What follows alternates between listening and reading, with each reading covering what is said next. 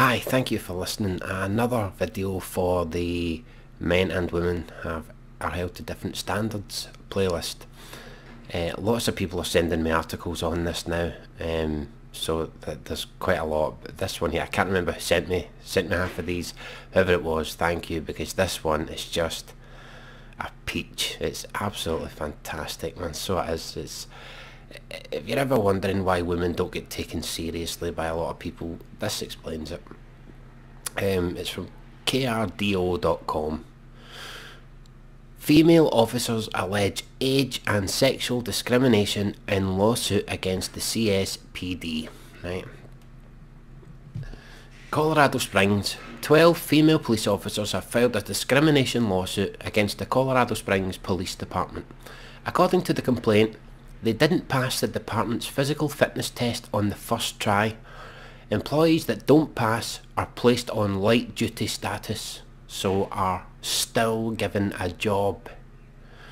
According to the complaint, being placed on light duty was humiliating to the plaintiffs. Pass then.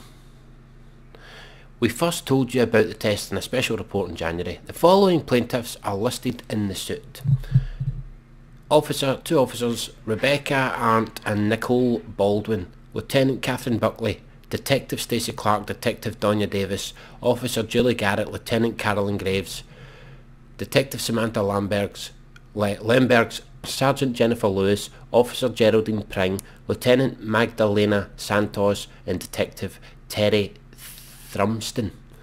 All of them are over 40, right? The 12 of them are over 40 some over 50. According to the lawsuit, the test is comprised of four individual parts, sit-ups, push-ups, the Illinois Agility Run and the BEEP test. It says each officer must achieve a score of 20 points to pass the test. The suit says sit-ups and push-ups are, are timed for one minute with a possible score of 8 points for each.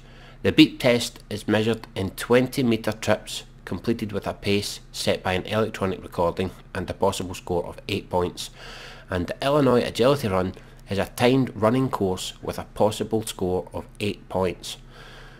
The plaintiffs argue in the suit that men and women have different physiological characteristics which result in a different physical ability to perform on three of the four tests. They say that age and sex should have been factored into the scoring structure for the tests and that the test was set up so that virtually all male officers could pass. Right. Okay. So this this is how it works, right? The the person who is in charge, the patriarchy goes to this person, right, and says, look, we don't want women in here. Uh, so we want you to make tests that make sure men pass, but women don't pass, right? Brilliant, right? But of course, this person who set this test back under orders of the patriarchy so that women couldn't possibly pass and all men could, um, they failed. I mean, really, really failed. They're, they're bad at taking their orders from the patriarchy, right? They're bad at following out their patriarchal orders. According to the lawsuit, of the 549 men who took the test, 12 failed and that of the 621 officers under 40 tested, 3 failed. The suit says 38% of women over 40 who took the test failed. Now do you see what I mean? It's not the best patriarchal test when 62% of women over 40 pass the fucking test, is it? The majority of the women who took the test over 40 passed. But these uh, layabouts, 12 of them, useless, probably fat, absolutely useless wastes of space, are claiming that the test uh, was set up so that virtually all male officers could pass. 12 failed out of the 549 men, uh, and 38% of the women over 40 who took the test failed so the majority of them passed. So I would say that if this um, test, which totally discriminates against vaginas, I'd say it discriminates against, you know, fitness, probably, and not age, and not vaginas, but fitness. But that's just me. I'm only looking at the numbers and that's all I can see. Because if it was to fail women, why does 62% of the women over 40 pass? It doesn't make any sense. The suit goes on to say that women have historically been underrepresented in the Colorado Springs Police Department. It says women make up between 12 and 13% of the force currently. So, that doesn't mean they're underrepresented in any way, shape or form. That means that of the people who have the job, 12 to 13% of them are female. That does not mean they're underrepresented. They're equally represented for the people who put in for the job. Is it, they think because it isn't 50-50 they must be underrepresented? No, I'll tell you where they're underrepresented. Deep sea fishing, road construction, uh, road maintenance, construction, security. You know, there's uh, in the sewage department. They're underrepresented there. Why do you why do you go and complain about that? No, ladies, anyone, anyone, Bueller, Bueller. No, I didn't fucking think so. Funny that. Lieutenant Catherine Buckley is one of the plaintiffs. She is the public information officer for the department. She said she could not comment on the lawsuit. She also said she could not comment on whether she would remain in her position at CSPD. Police Chief Pete Carey told KRDO News Channel he had not seen the lawsuit and would not be able to comment. You know, KRDO, gonna stop telling us all the people that didn't comment. just, just don't bother mentioning them. You're not to go through them all, are you? And say, but they didn't comment either. Fucking, I didn't fucking comment. Why do you say that? God's sake. He said he would do an interview when all his officers passed the test. KRDO News Channel 13 asked if he still stood behind his decision to implement the tests, but he said he couldn't comment. Oh, for fuck's sake. Why are you telling us this? What you, what's the point in this? Just to get an extra paragraph in the article, you paid by word? In the lawsuit, the plaintiffs claim that Commander Thor, what a fucking name, Thor Eels. What a fucking name. That's got to be one of the greatest names ever. Commander Thor Eels. Imagine telling people that, eh, and who you, I'm Commander Thor. And that's how you shall address me. Commander Thor. Brilliant. Was the primary proponent of establishing the test. It failed. Failed his patriarchal duties. The suit says Eels is a close associate of Police Chief Pete Carey and a, member of the decision-making body which selected the individual tests for the overall fitness test. The plaintiff alle alleged that Eels has referred to female police officers as Seamus and Smurfs on multiple occasions, completely irrelevant to the fact that the people didn't pass the test. It's irrelevant. It doesn't mean, oh, he set that up so that women would fail because he called them Smurfs once. And when he said they were Seamus and Smurfs, uh, was this at a Halloween party? Where some of them were dressed as Smurfs, by chance. You know women are like with twisting things, you know? He called me Smurf. Weren't you, weren't you dressed as a Smurf when he said that? That's, that doesn't matter. He called me Smurf. The lawsuit seeks an injunction that would keep the CSPD from enforcing the physical fitness testing protocols of the new programme. The women are also seeking monetary damages. Oh well, of course. Of course they are, because that's what it's all about. But they're trying to get an, an injunction that would keep them from enforcing the physical fitness testing protocols of the new programme. I wonder if that would also uh, stop them from applying it to men, you know. If men don't pass the test, can they still get a job? Or is it only when women, fat-arsed, useless wastes of space, women over 40 who don't pass, is it only them this applies to? Hmm? Uh, most of the comments anyway are totally in favour of my side and that if you can't fucking pass you've got as a, a job with someone saying you're carrying a gun as part of the job we don't want you to do harm to people you better be in fucking shape or you're in danger to yourself and your fellow officers and the public. Uh, but there's this uh, silly bint who says I am a woman over 40 and I score high on this test but I support the lawsuit even though she's got I don't believe her if other components that were considered but not chosen, i.e. the sit and reach, replaced the beep test, I would score much lower, as would a lot of males. The test used to have uh, the test they used to have tried to simulate a foot pursuit, going under over obstacles, tackling a suspect, dragging a body, firing shots.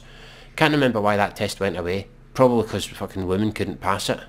And they'd done a lawsuit, that's probably why it went away.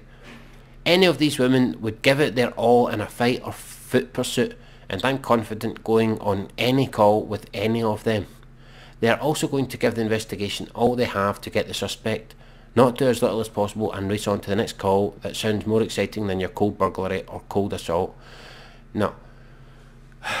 All of these women are going to give their all. If they were going to give their all, why didn't they do that in the fucking test? And if they were giving their all in the test, they didn't pass and they're not good enough for the job. So light duties it is. At least they're still getting a fucking job out of it. It's not as if they're saying, right, you didn't pass, fuck off. They're saying you didn't pass, we're going to give you light duties. And if you can't pass, I would rather you were on light duties. I don't want you on the streets. Fuck's sake. You're supposed to be protecting the fucking public and you can't even pass the basic fucking tests. Fuck that. 62% of women over 40 are capable of doing it. Just because these fat losers can't do it doesn't mean the, the, the police department should be sued. It's fucking unbelievable, unfucking believable. But the way they say, oh, this is set up so that men pass. That was it. This is set up so that virtually all male officers could pass. What a fucking load of horse shit. 12 of them failed. 12 of the men failed. So does that, are they going to get any of this money when it gets paid out? Or is it just going to be the women that failed that get the money? Hmm. And that's what'll happen. They, they'll, to save themselves money, they'll give a payout, you know, save paying all the lawyers for the court time, and this could take years. Uh, bad publicity. They'll probably end up paying out.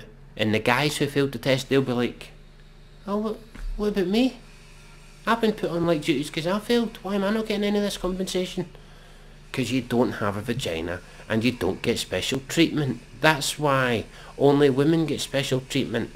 They, they go in, they do the test, they fail, they then complain about it and then demand money because they failed the test that 62% of them passed. And as I say, is it any surprise that you hear a lot of employers, and a lot of them won't say this, but a lot of them will not hire a woman. If I owned a company, I wouldn't hire women. Because as soon as you hire a woman, you've just placed landmines all over the workplace. It's a stupid thing to do. It's a fucking stupid thing to do. I'm sure there's some men that will play this this trick sometimes, especially if they're gay or non-white. But most of the time, you're safe hiring a man. But with women, you just place landmines all over the workplace for everybody, not just for the bosses. And and well, fuck that, fuck that. Women, seriously, man, you're it's not just that you're held to different standards. You demand to be held to different standards when it suits you. Hmm. Funny that. Anyway, uh, thank you for listening. And please do keep sending me articles because they're very interesting. Until next time. Hi, thank you for listening. Another video for the men and women have are held to different standards playlist. Uh, lots of people are sending me articles on this now. Um, so th there's quite a lot. But this one here, I can't remember who sent me sent me half of these. Whoever it was, thank you because this one is just a peach. It's absolutely fantastic, man. So it is. It's if you're ever wondering why women don't get taken seriously by a lot of people, this explains it. Um, it's from krdo.com. Female officers allege age and sexual discrimination in lawsuit against the CSPD. Right. Colorado Springs. 12 female police officers have filed a discrimination lawsuit against the Colorado Springs Police Department. According to the complaint, they didn't pass the department's physical fitness test on the first try. Employees that don't pass are placed on light duty status, so are still given a job. According to the complaint, being placed on light duty was humiliating to the plaintiffs. Pass then. We first told you about the test. Men and women have different physiological characteristics which result in a different physical ability to perform on three of the four tests. They say that age and sex should have been factored into the scoring structure for the tests and that the test was set up so that virtually all male officers could pass. Right. Okay. So this this is how it works, right? The the person who is in charge, the patriarchy goes to this person, right, and says, look, we don't want women in here. Uh, so we want you to make tests that make sure men pass, but women don't pass, right? Brilliant, right? But of course, this person who set this test back under orders of the patriarchy so that women couldn't possibly pass and all men could, um, they failed. I mean, really, really failed. They're, they're bad at taking their orders from the patriarchy, right? They're bad at following out their patriarchal orders. According to the lawsuit, of the 549 men who took the test, 12 failed. And that of the 621 officers under 40 tested, 3 failed. I'm only looking at the numbers and that's all I can see. Because if it was to fail women, why does 62% of the women over 40 pass? It doesn't make any sense. The suit goes on to say that women have historically been underrepresented in the Colorado Springs Police Department. It says women make up between 12 and 13% of the force currently. So, that doesn't mean they're underrepresented in any way, shape or form. That means that of the people who have the job, 12 to 13% of them are female. That does not mean they're underrepresented. They're equally represented for the people who put in for the job. Is it, they think because it isn't 50-50 they must be underrepresented? No, I'll tell you where they're underrepresented. Deep sea fishing, road construction, uh, road maintenance, construction, security. You know, there's uh, in the sewage department. They're underrepresented there. Why do you why do you go and complain about that? No, ladies, anyone, anyone, Bueller, Bueller. No, I didn't fucking think so. Funny that. Lieutenant Catherine Buckley is one of the plaintiffs.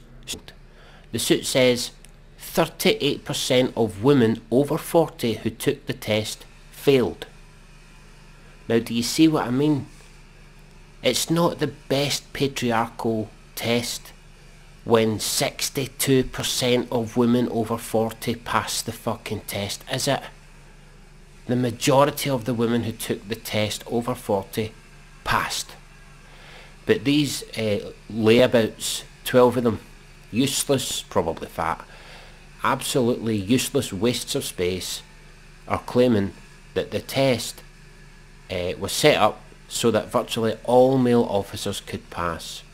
12 failed out of the 549 men, uh, and 38% of the women over 40 who took the test failed so the majority of them passed.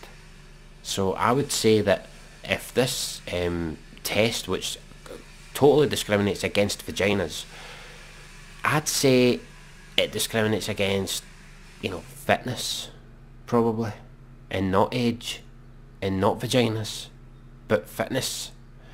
But that's just me. in a special report in January. The following plaintiffs are listed in the suit officer, two officers, Rebecca Arndt and Nicole Baldwin, Lieutenant Catherine Buckley, Detective Stacey Clark, Detective Donya Davis, Officer Julie Garrett, Lieutenant Carolyn Graves, Detective Samantha Lambergs, Lembergs, Sergeant Jennifer Lewis, Officer Geraldine Pring, Lieutenant Magdalena Santos and Detective Terry Thrumston. All of them are over 40, right? The 12 of them are over 40 some over 50. According to the lawsuit, the test is comprised of four individual parts, sit-ups, push-ups, the Illinois Agility Run and the BEEP test. It says each officer must achieve a score of 20 points to pass the test. The suit says sit-ups and push-ups are, are timed for one minute with a possible score of 8 points for each.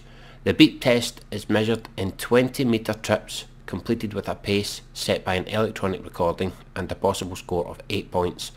And the Illinois Agility Run is a timed running course with a possible score of 8 points. The plaintiffs argue in the suit